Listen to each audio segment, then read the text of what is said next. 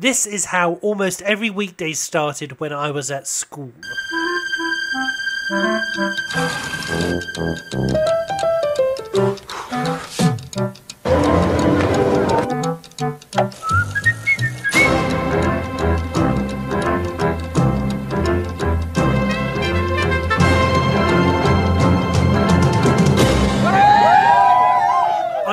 I normally talk about movies, and I have very little interest in television series, but a recent clip watching binge on YouTube has sent me down a delightful rabbit hole. If you're not from the UK or as old as me, then this show may not be familiar to you. The Big Breakfast was Channel 4's early morning weekday show, and it ran for five days a week for 10 years. Hello!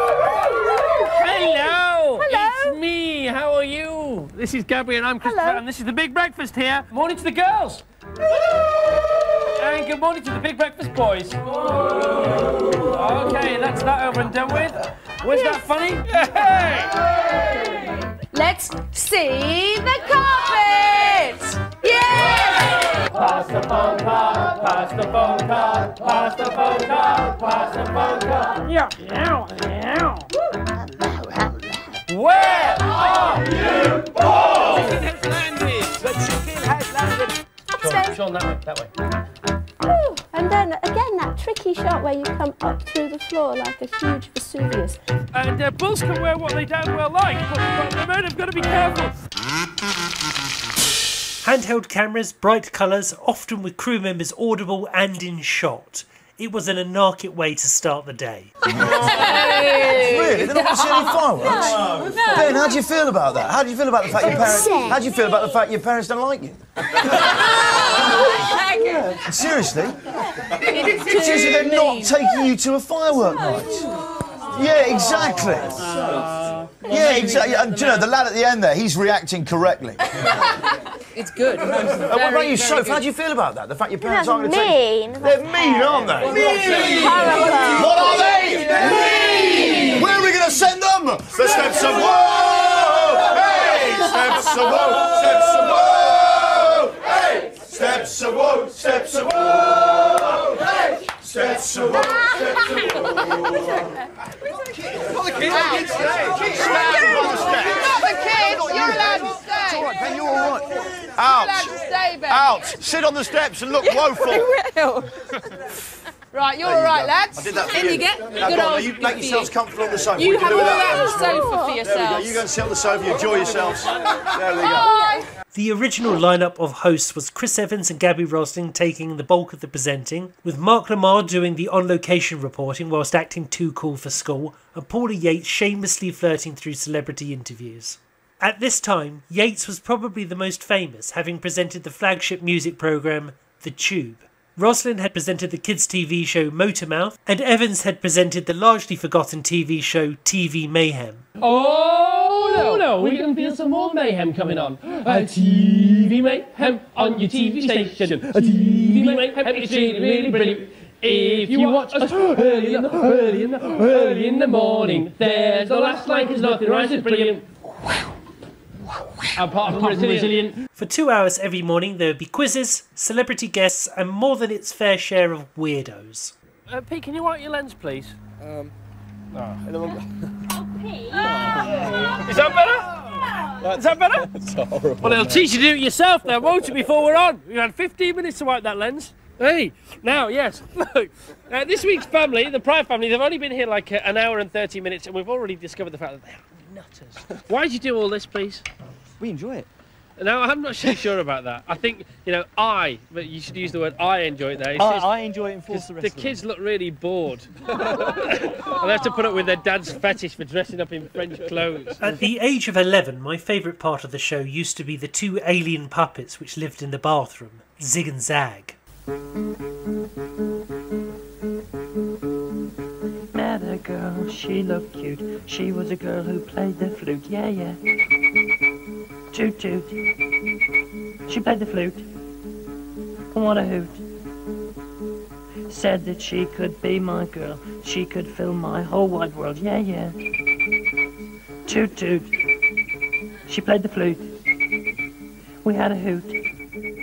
She was a girl that had the flute. She was a girl that played the flute. She was a girl, she owned a flute, which was very, very difficult to play. Very, very difficult to play. That's why I love her. I love her to this day. Oh, yes! Apparently, the double act, created by Irish puppeteers Ciarán Morrison and Mick O'Hara, existed before The Big Breakfast, but this is what brought them to the attention of the UK. And when they released the single Them Girls, Them Girls, it became the first CD I ever purchased. They all love me. They all love me. Them girls, the girls, they all love me. They all love me. No one could accuse the show of being slick or polished, but what it was was a great format in which to play. The more things went wrong and the host went off script, the better. But Mark Lamarr would be the first to leave the show, having found travelling around the country to be incompatible with his life as a comedian. Bathroom is the word I was looking for there. And uh, people in this house hopefully will have a bathroom. And um, Dr. Julian there will be an expert on it. We'll see. Well, let's hope so. Hello, Mark Lamarr, Big Breakfast. Well, sh- can I shake your hand for quite a long time because this one's freezing and I just want to warm up. Who are you? Matthew Julian. Matthew and Nicola Kieran. Nicola, and this is Dr. Julian. Hello, Come- good morning. Boone. Got it right. Can we come in? Yeah. Can we come in? Have you got a bathroom by any chance? Yeah. I thought you might have. We did a survey of uh, houses in this area and they all have bathrooms. Where is the bath? There's someone in there. Oh, good. Hello. No, stay in. No, hello. Come and come. Excuse me. Oh, if the cameraman had been a bit faster, we would have seen this naked woman. Co- You're not well. Well, come into the bathroom. Oh, she's not happy, is she? Can we, can, can we come in and we'll have a little look around and someone's rung up? You don't want us in?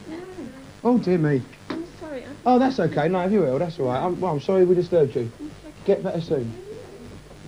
Oh dear, this hasn't happened before. I think we should leave, Dr. Julian. No, that's okay. We, we didn't know. We, we didn't warn you or anything. So you have a nice day and get well soon. And I do feel a little bit foolish, but there you go.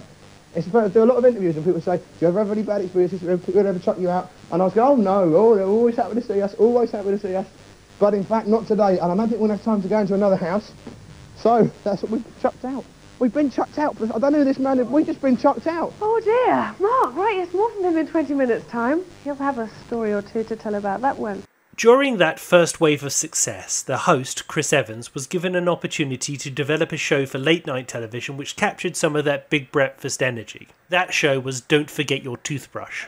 And let's tick things off now with things that we know that you like.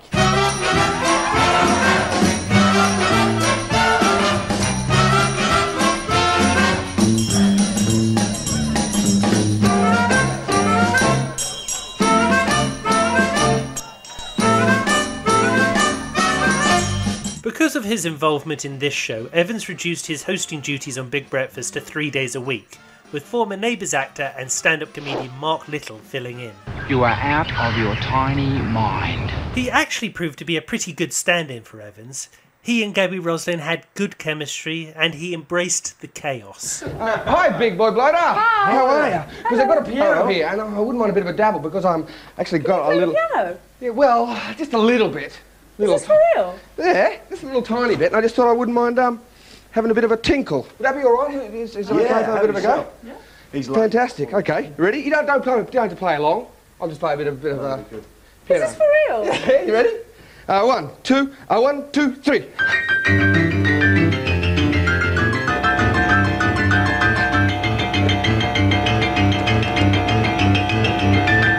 When I was 16, I begged my mother to take me and my friend to see him on his stand up comedy tour, Psycho Bubble. She relented and ended up admitting what an incredibly funny night it was. Yeah. Anyway, I'd just like to say something before I go. Yeah, what? Because uh, it is it is the last time. Oh, Ronnie, shut up. because I've got something to tell you all. What?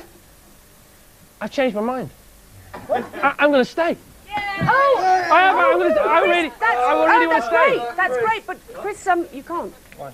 Uh, because I, in fact, we can't because Paul Ross has signed and he, he starts a week on Monday. No, but it's all right. You, you, you- I'll come back. I'll come back then. You can't. Paul Ross is coming. That's What, it. what are you saying? You've got to go. I've got to go. You've got to go. Bye, Chris. All right. See you, mate. Hey, Paul. Sorry, Chris. Chris, here you go. It's on there. What are these? That's your clothes, Chris. All right. They really are my clothes as well. See you later then. Bye bye. Bye, babe. See ya. See you, Chris. See you, Toby. Mr. Chris. See you later.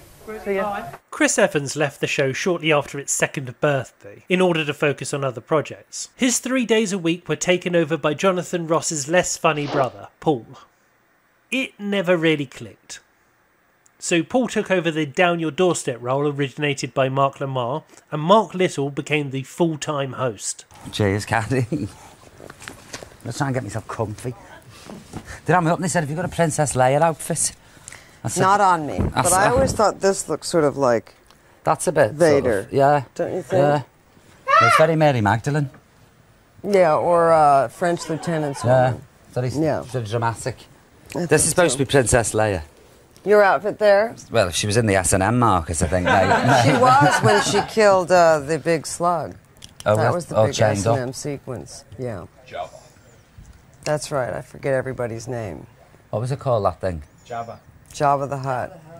We're not on, are we? Yeah. Are we? Oh, I thought we were just chatting here. I didn't know. just well I didn't swear, isn't this? oh, awful sorry. Oh, I didn't know, viewers. We're just having a casual chat here. Okay. Paula Yates was the next to leave the show, being replaced by Paul O'Grady, who conducted the interviews under the cover of his character, Lily Savage, who seemed to fit in with the others rather nicely. Thank you very much, Pete. And yes, in fact, it is Gaby Roslin's last day on the Big Breakfast after three and a half years of uh, undaunted effort. And it's not indulgent, Gab, to say, you know, this has been fantastic. We're going to show you your best bits now. Um, well, not, not your best bits, because it, it's not possible. Best, We've only got... best three and a half years of my life. Well, let's see a little capsule of that now.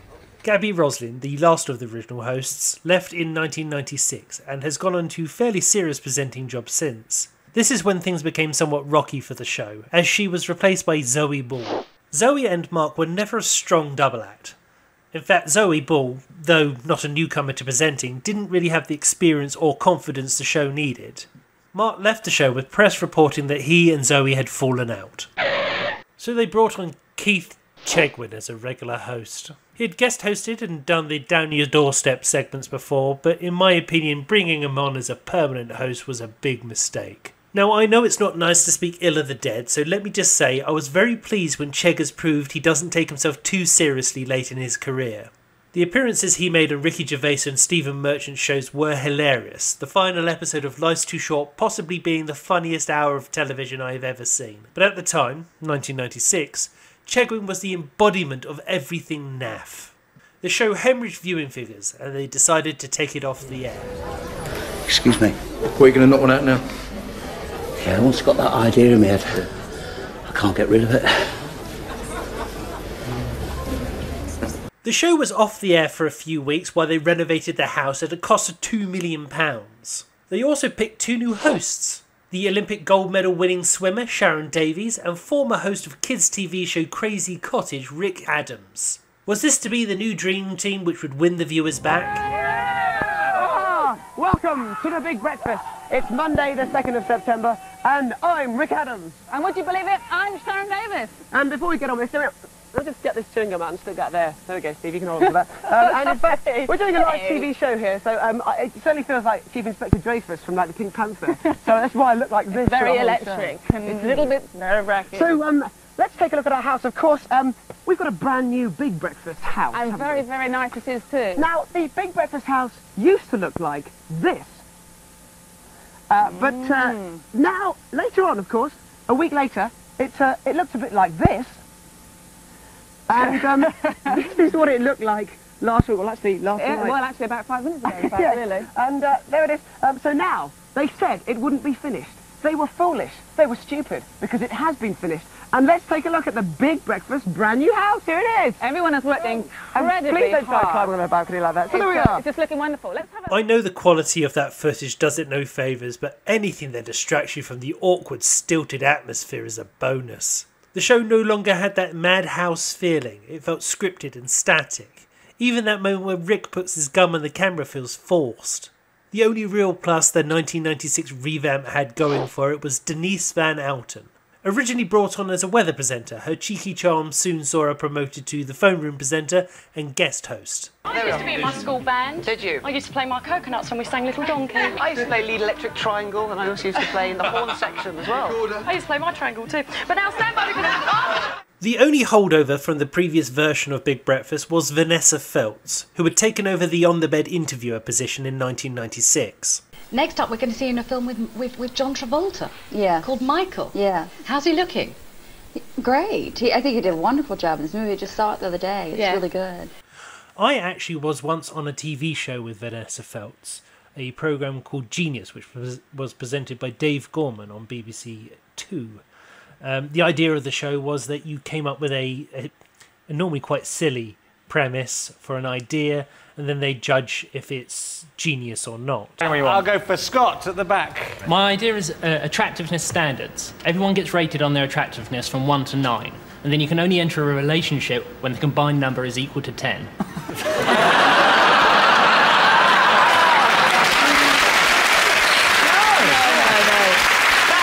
Only fair on the fives. It's fair on the ones. Ones are having a great time, the fives have got nothing to shoot for. Uh, the nines are in trouble. so Dave Gorman asked me to rate the panel. Uh, I rated the host and Richard Herring, and then it got to Vanessa Feltz, and I paused, and there was an audience laughter, and I said, "Well, the good thing is, you'll have a really attractive boyfriend." Um, and she acted really offended, and there was a massive laugh. This section was, of course, edited out before broadcast. It was cheeky, and they were right to edit it out. But Vanessa Feltz took it well. She's got a good sense of humour, if nothing else. Just, just um, ruins my, my pack here, but never mind. Before I go, can I just do this? Rubber. Thank you very much. Fantastic. Sharon left the show in 1997, and Denise became the permanent co-host. But when Rick took a two-week holiday and Johnny Vaughan filled in, something suddenly clicked. Thank you very much indeed, Simon. Thank you, now, Simon. according to Denise got the competition winner. Who's won the competition today, Denise? Um, what have they won first of all? They've won a games console, Yeah, I'll sign computer that. Go on, go on, equipment, winner, winner. ergonomic chair. Yeah. Uh, Mr. P. Nurse of Leicester. I can't believe I got you on it. right, okay. Do you know what? Do you know what? I was, I was thinking about doing that all weekend. Rick was soon relegated to the down your doorstep sections of the show, and Johnny became the main host, creating what most people consider, myself included, to be a golden era of the Big Breakfast. It is time to play Santa's stockings. Some of them have presents in, some of them are. Yes, indeed. Santa's Stockings, the game, the game where you can win all your Christmas presents in one fell swoop. 21 stockings. stockings. Four of them are shocking stockings. 17 contain possible prizes.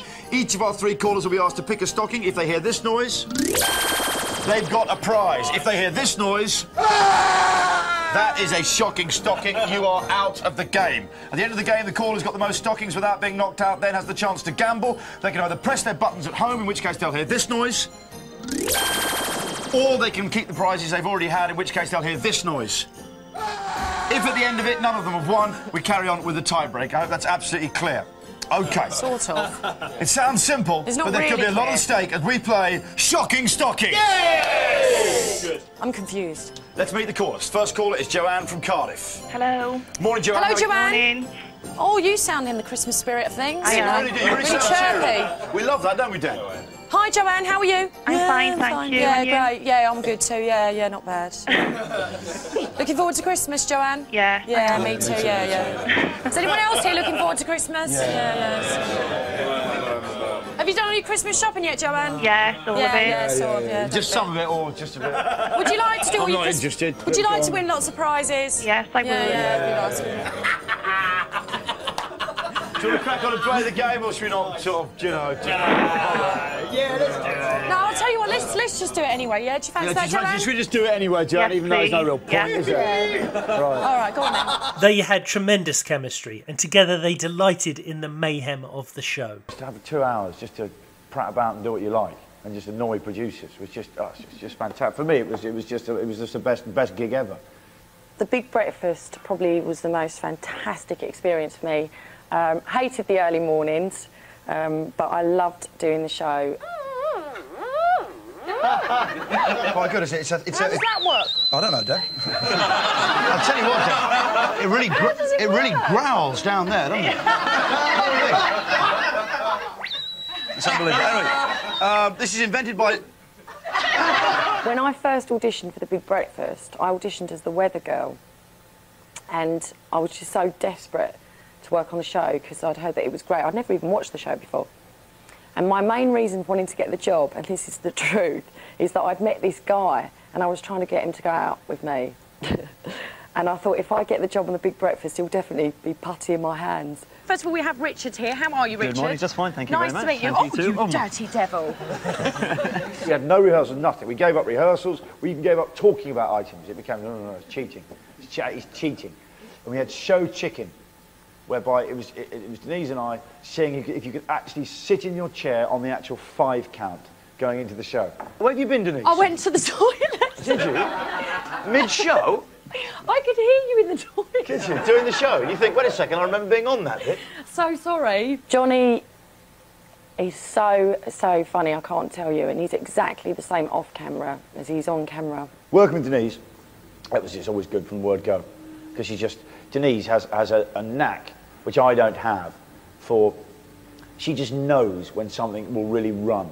What's in your pink sack, Dad? Look, have a look. Hang on a minute. What could it be? She's getting something. She's getting something pink and fluffy from her pink sack.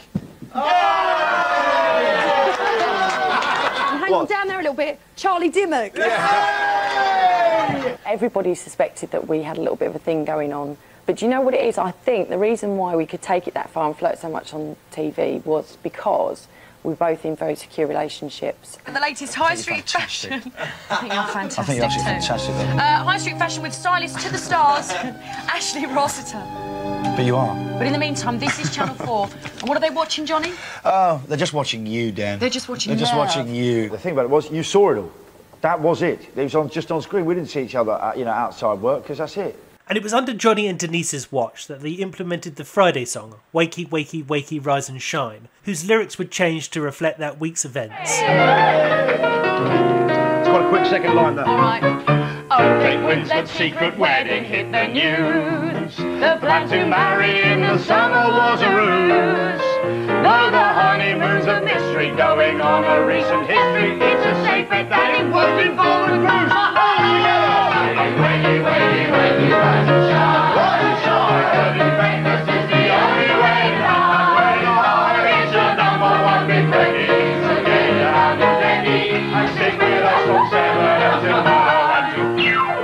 week a few old lords were full of woe.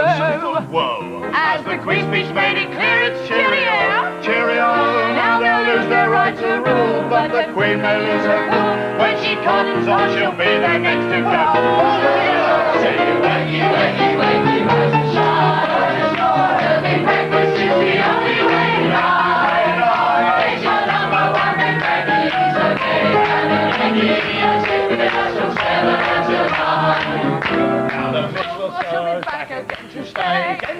stay. But the days of glamour girls have gone away, gone away. Body shape won't win big prizes, cause it's IQ not bra sizes. But the dads are going to tune in anyway. Singing wakey, wakey, wakey, Breakfast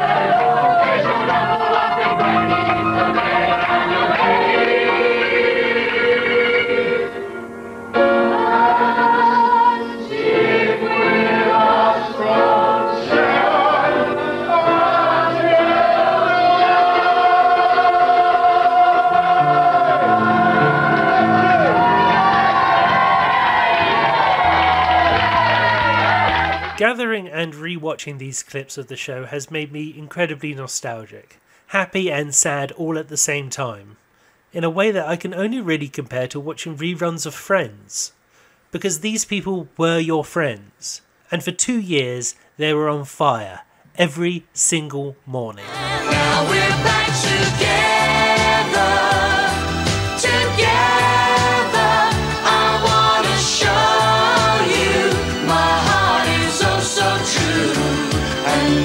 Released the charity single covering Kylie Minogue and Jason Donovan's Especially for You for Children in Need, I went and bought a copy. Not because I liked the song, because I really didn't, but because I liked Johnny and Denise, and I wanted to see them at number one. They ended up getting to number three. Okay, do you know what? It's actually getting very close to the time when Denise bids us farewell. Mm. The last ever But show. don't be sad, I will be back. Yeah. Like all good things, this had to come to an end. It's especially for you.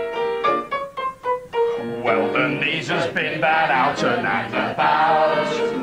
As a weather girl, she flew without a doubt. She never came a copper, she could handle any chopper. Grab the joystick, then it's Roger and it's out. All together! Singing wakey, wakey, wakey, rise and shine. Rise and shine! The big breakfast is the only way to lie. It's your number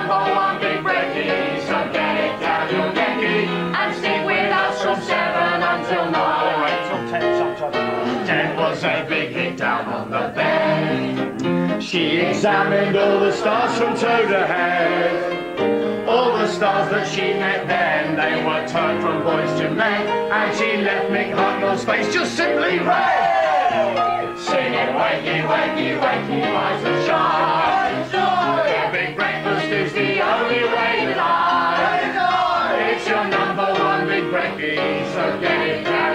Necky and stick with us from seven until nine. Na, na, na, na. She's been on the front of every magazine. She even nicked her ashtray from the Queen. She's a Basil Derness and she dresses to impress. And this rate, you'll never get her off the screen. All together, singing wakey, wakey, wakey, rise and shine. Big breakfast is the only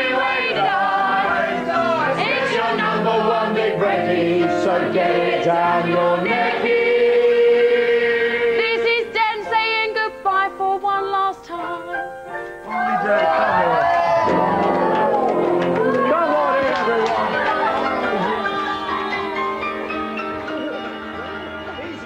You put so much trust in a person, and I've had it in the past, in the 90s. I mean, I know I can talk about it because it's been public. I had a big fallout with Johnny Vaughan, who I did the Big Breakfast with.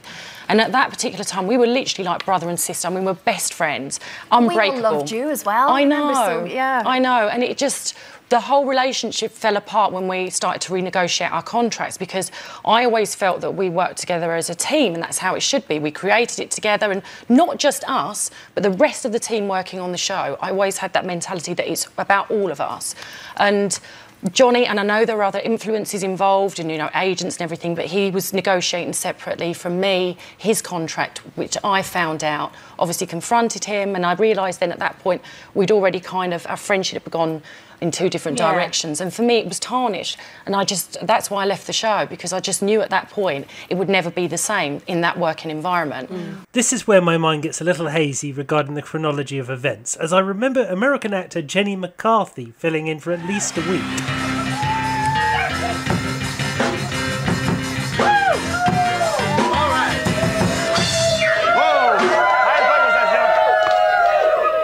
Jenny, Jenny, you know what? No, Johnny, you tell me. I reckon this must be just about the greatest country in the world. I think so. Although I must say, Iraq's a pretty great nation too. Well, they sure great on me. Johnny, you had us all worried there for a second. Uh, I tell you, Jenny, if you were a sheep, I'd worry you any time. Johnny, you little old dog. hey, what about those whoopers, huh? Wouldn't you like to shake them by the hand? I'll shake them any way you like, baby. I can't find the information written anywhere to whether that was before or after Kelly Brook's tenure. There had been an internet campaign to get Liza Tarbuck instated as Johnny's permanent co host, but those duties were given to Brook, who was a model at the time and has since gone on to do several acting roles. She lasted six months in the role before being replaced by Liza Tarbuck. On a roll of aluminium foil I bought recently, it says you should follow the oven, the oven manufacturer's advice if you're going to use it in a microwave. I didn't know you could put tin foil or cutlery in a microwave, apparently. Uh, have I missed something? I thought that using anything metal in a microwave was absolutely uh, forbidden. Uh, that's the question. Oh, forbidden. Strictly forbidden. That's strictly for, for Christopher Biggins. It's a kinky thing. He does it. It's part of his lifestyle. Don't bother. Uh, he can stick whatever he wants in the microwave. as long as as long as the crowd's at a safe distance. Uh, what Biggins does with his microwave? no, it's nothing to do with Biggins. I nearly mispronounced a word, Liza. I believe they were old friends before being paired on TV, so chemistry was never going to be a problem. And that year they hosted a special edition of the show, what was to be the biggest Big Breakfast ever, to welcome in the millennium. Just slope back from the party. Happy New Year. Gang, do you want to greet say Happy Year. I- I'm Johnny Vaughan. This is, of course, Liza Tarbuck. we're, we're hoping to guide them through the chaos. Oh. This show was supposed to run for eight and a half hours. It actually overran by almost 10 minutes. I remember being at a particularly awful party whilst they're doing the countdown to the year 2000. My friend was arguing with her boyfriend, and several people were blackout drunk. And I, having no one to talk to, went into the living room and flicked on this show. Pretty soon, the whole party was watching with me. And even now, 23 years on, this interview, done midway through the show, where Johnny Vaughan talked openly about his time in prison, sticks in my mind. I really like you. So you said there's no subject area that was off limits, and we've had a huge response from the viewers. Are you still happy to answer anything? Absolutely. Well, yeah, within reason, not sort of, you know, dreary stuff. If it's no, I won't. chipper. Legally, I have to ask you that. Okay, nice one. Okay, I'm going to start quite largely with prison. Ah, the big ass. Prison. Oh. Uh, well, the hottest topic was prison, of course, so we're going for it. So, Was it the hottest topic on the net when they asked? uh, well, I think it probably was, wasn't it? Really, yeah. because it's intriguing. Because the majority of people haven't been to prison. Yeah. So, did you think you deserved it?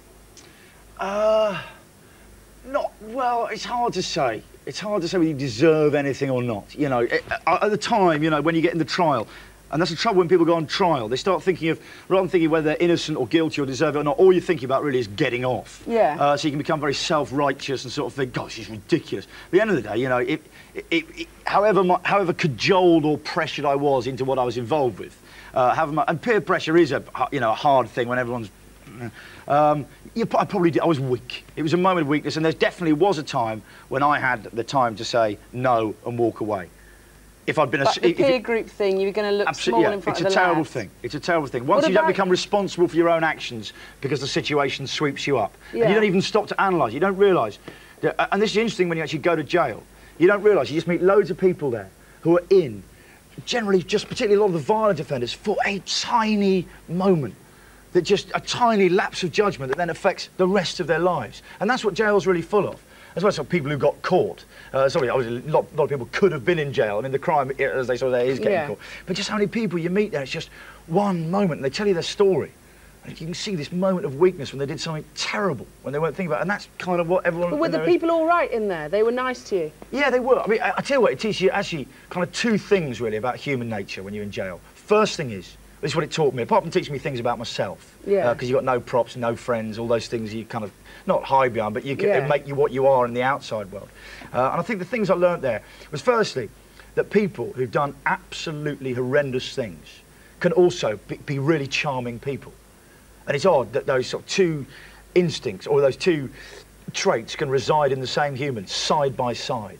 You can have someone who's just done something awful and violent or a, a, a terrible gangster who's done something, and yet they can sit down and you wouldn't even know it. You have to have a real laugh with this. That's the first thing. Teaching you that in all humans, just because someone has been a monster, doesn't mean they're a monster 24 hours a day. They walk around being a monster. They did a monstrous act. I don't say this as defence, I just say this as, as what I found. Yeah. And the other thing is, is when you start, is that actually, uh, uh, and it, it'll sound a really strange thing, uh, but, but I thought that a lot of the people in jail, uh, it, it was, Britain has a big jail population, you know, for its pr- proportion of people that are there. And it shows you at least a lot of people there were in there, particularly sort of, I don't know, some thieves or whatever. I've got to be quite careful what I say here, obviously. Because Uh, they'll be watching, obviously. yeah, because they might Actually, be, will they?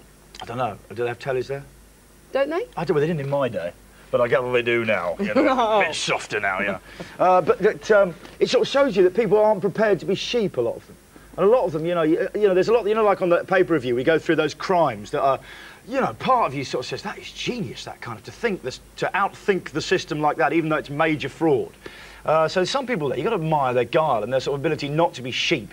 Uh, and just, um, I, mean, I think what is more sinister, a society where no one breaks the law at all and everyone obeys, or a society with, you know, a criminal Step element. And I think actually, Mm. a, a society where there's not a criminal is slightly more sinister. It's kind of Disneyland sinister, which is, you know, Yeah, so what's going on behind the yeah. scenes? The other thing, of course, is that all victims are not necessarily good people. Uh, and you discover that in jail, which is a very tidy kind of microcosm of the world.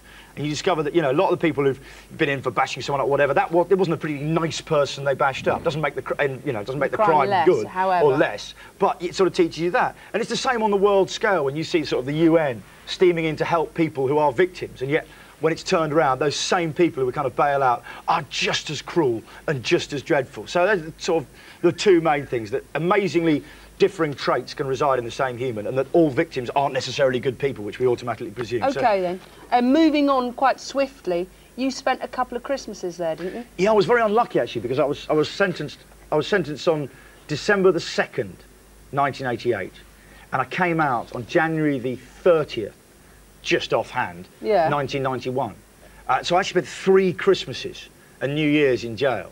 Was it a dreadful time? I, I mean, so so depressing. I actually had the, the lowest point of my life was when I was transferred suddenly out of Leicester prison, and I was taken just out of my job, and I was just well, there was a nice number in the kitchen, lovely, five pounds sixty-five a week, lovely, and I was just taken to Lincoln Prison, which is I've got to tell you, is, is, is a really bad one. And uh, no one knew where I was. I was on a bus with this. There was two of us on a bus with 14 prison officers, and he was a mad Scotsman. And he was just up there, manacled both sides, going, Come on, Vonnie, are you with me? And I was like, Well, not quite, mate. You know, we're not No, quite I'm not. good. We're not sort of that good friends. And we arrived at this jail, and it was just like two days before Christmas. And none of my family knew where I was, none of my mail was going to get to me. I was just in this cell, this, this cell with this bloke who um, was actually a very nice chap, but he did have a un- nasty habit of taking his false teeth out to suck pies. And he then used to put his, his teeth on the bed. And he used to just suck pies. Oh, anyway, and I cleaned my shirt. I washed my shirt because I was expecting a visit some stage. I wanted to have a clean shirt. And I had this wet shirt on because they wouldn't let me go down to exercise without a shirt. Because that's what the dogs are trained to go for, is the stripy shirts. You always Right. have to wear them when you're walking around in circles for an hour. And uh, I was just walking around in, a, in an exercise yard. I'm not kidding, it was the size of Wales.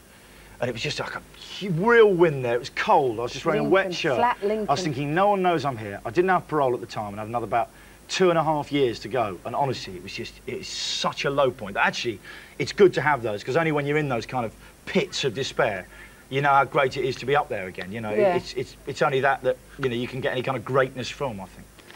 Thank you for that. I'm going to lighten it right up. I'll tell you one thing though, so someone, on. someone really nice thing, sarcastically on one Christmas day, because I did also have a lot of laughs in prison. Mm. And one of the things that uh, the great mental editor does is take out bad memories and boredom, because they're too boring to, To remember, You yeah. can't remember waiting for a bus, so that it makes you feel bored, Yeah. because it's too boring to remember. So actually, because there's so many identical days, the mental editor just kind of takes out the 20 days in between two funny incidents, and you're left actually looking back thinking, yeah, I had a few laughs there. And I remember one time, uh, Christmas Day, I put a sock on my cell door, sarcastically, like a stocking for Santa. Yeah. And, uh, and I put it on the cell door. And in the morning, when we opened up, I saw my sock there. I went inside it, and a prison officer had been doing night duty had put a cigarette in it. So it was quite a sort of, at the time, it was like, wow. That's really nice. Yeah, it was a really sort of weird Hats thing, off but I sort you, of thought you are. there is a Santa. You know, it was a ah. nice sort of thing. Liza would leave the show to focus on her acting career later the same year, leaving space for Denise Van Outen to return. Hey, hello there, good morning. Island Pilov, ladies and gentlemen. And welcome back to your big breakfast. Oh, for a while there, it was like old times again. But alas, it was to only be for the last four months of Johnny's contract, and they would leave the show together.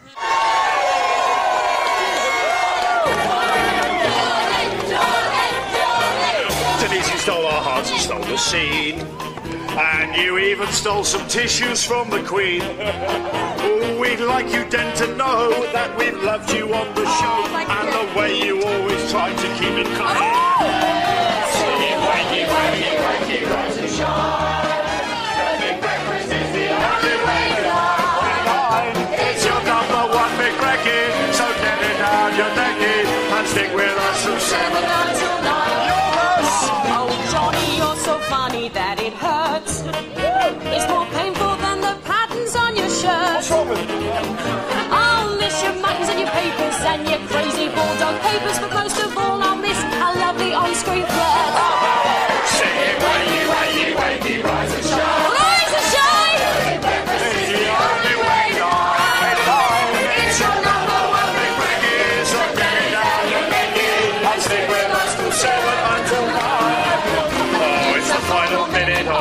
final show. And now it's here and we, want, we just don't want to go.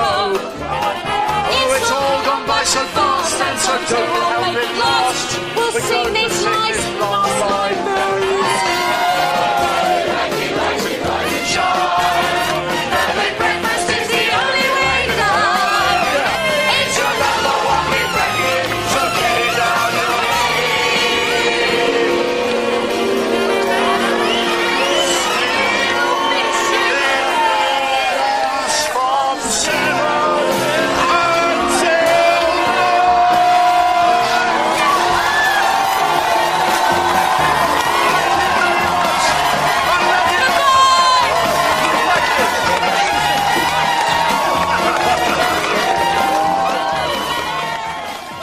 To me, this is when the show ended.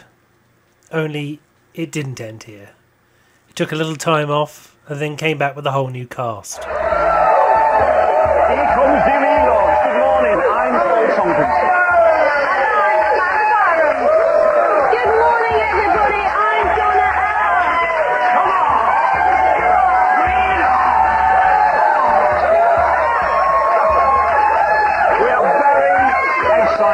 It's Monday, the 22nd of January 2001, and we are your never before seen, totally original, brand spanking new Big Breakfast presenter. The never before seen, totally original, brand spanking new Big Breakfast House. The sofa. However, we've got the same as ever it was, desperately need the work. Fantastic Big Breakfast crew. This lineup would change several times, but before the end of the year, the show would be cancelled. Why, why take it off? Why? You've got talented cameramen, you've got, te- you've got a production team who, putting a production team together like that takes years, and it's together now, you know, and they should keep it together because it's mad to disband. It's like saying to Man United, right, we're going to we're going to sell you all off to different clubs, and we're not going to have Man United anymore. Why? What's the point? There's no point. You've got a brand like that that's so strong and so well known. It just seems a shame, just, you know. So in the beginning, we had nothing to lose, so we were fearless. And now you've been told you, you're going to get axed, so you've got not, so you're fearless, and so the, you've got the freedom again, which is why you're doing really well. And if it's about capturing and keeping that freedom. But anyway, listen, thanks everyone. Thanks everyone for, for, for watching. And thanks to all the crew for making it uh, my favourite job. Thanks, guys. I had the best time ever. But if you are thinking of complaining, don't phone because it was just for fun. I know writers of soap operas who talk about the difficulty of avoiding a slump after a prolonged high period in any ongoing story. This could very well have been a little dip, but I know I had tuned out by this point. It was replaced by a show called Rise, which changed its presenters and its format more often than most people change their pants. Good morning and welcome to Rise. We are coming to you from a fancy, high-tech studio in fashionable Hounslow. There are no puppets, dancing girls or whooping crew members. There's a man hyperactive ventilating beside me. but uh, here's our Rise promise. We'll give you all you need to know about everyone you care about in just 30 minutes. Well, we'll try. This would also be cancelled in 2002. Channel 4 would thereafter show sitcom repeats in the morning. But it turns out, without anybody notifying me, Channel 4 brought the show back. Right, it's the end of the summer, kids are back to school, and I cannot believe that this is the last show. Guys, genuinely, what on earth am I going to do with me Saturday mornings now? I'll genuinely miss you. I'm gonna miss you too, Yeah. AJ. I'm gonna miss you. I am. I am gonna miss her. I'm gonna miss her. Setting me up, calling me Winnie the Pooh. Yeah. yeah. You forget that one. You Yeah, but one. you- But I don't hold grudges. Exactly. Yeah. And you're my good friend, so I thought, you know what? It's good to get a good friend a good gift. Yeah. Oh. So uh, I got you a little gift, little something, just a little something. Yeah. Thanks. You know, we've got a little change in the budget. You know what I mean? so, uh, so Dan, can Dan, uh, can you reveal what the gift is? This- There we.